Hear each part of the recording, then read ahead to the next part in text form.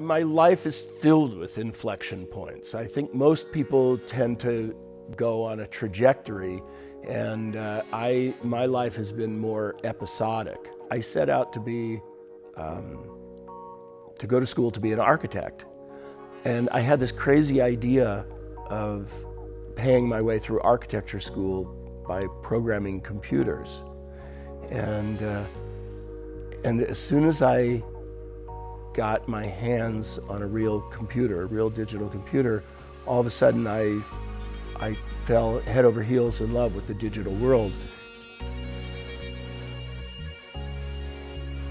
So a friend of mine who I had worked with at Digital Research had actually gotten a job in the sales team at Microsoft and he was trying to convince the big IT departments that there were actually guys writing for Windows. And my buddy in Microsoft is pitching the virtues of Windows, and I was going, yeah, Windows is wonderful. And this guy was saying, our issue here is that we've got people who are senior systems analysts building systems, and we've got bank tellers who have a high school diploma, and they all have to use this system, this Windows system Blink. There was, there it was. I didn't want to write a shell for the expert, and I didn't want to write a shell for the beginner. I wanted to write a shell construction set. And it was, and it turned out to be really good. You know, I showed it to Adobe and Lotus and all these guys, and they all looked at it and said, This is really cool. Why don't you show it to Microsoft? So I went to my buddy Glenn and I said, Can you get me an audience with Bill Gates? And he called me back a couple weeks later and he said, well, okay, I, you're, you're not gonna see Gates, but you're gonna see one of his guys. I started, I went into my little spiel, you know, giving my little demo.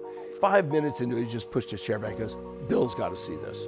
And I'm ushered into a, a, uh, a big boardroom, a big table, and about a dozen Microsofties pour in. And I've got my little computer in front of me and, and uh, um, and I start demoing this thing to Bill. He was, he, it blew his mind. He'd never seen anything like it. At one point he goes, how did you do that? I go, it's magic, Bill. But we eventually signed the deal. It was going to be the front face of Windows 3.0. It got caught in a political battle within Microsoft and it became an orphan within Microsoft. And it bounced around looking for a home within the organization. And finally, within Microsoft, the Ruby, this visual programming front end, which I had always seen as a tool for users, uh, found this sort of strange bedfellow of QBasic, Microsoft's Basic and then released it as Visual Basic, Microsoft developed all kinds of really cool things and ways to step through the language. It's really neat. But, but the basic idea that you're programming inside a visual environment, that was mine. And the basic idea that it's dynamically extensible and open to third parties, that was also my idea. And, um, and I think those were the two really significant contributions that made Visual Basic a success. I began to realize that what was really interesting to me was this idea of, of thinking about what software should be and how it should behave.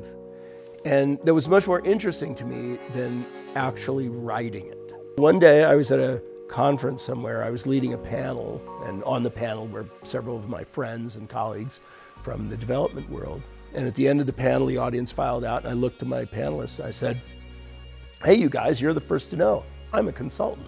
I'm not going to do any coding, but I'm here to help you make your products easier to use and, and better.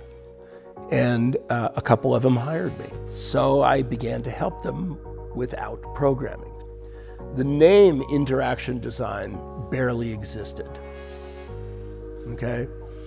There were no jobs anywhere in any company called user interface design, interaction design, design, nothing. From the time we really began, it was three years. And I wrote a big fat book called About Face of everything I knew. I put it all in there, every last thing. When I was done, I said, that's it. I, I don't know anything else. And three years later, I wrote another book because I was learning so much at the time. This is Silicon Valley's Oppenheimer moment. We've created these machines that extract uh, data from us and, and give us advertisements in return. And, um, and the, you know, the mechanisms of civil oppression used to be guns. Today, the mechanisms of civil oppression are Facebook and Google and Uber. And we're creating those tools, us technologists and designers.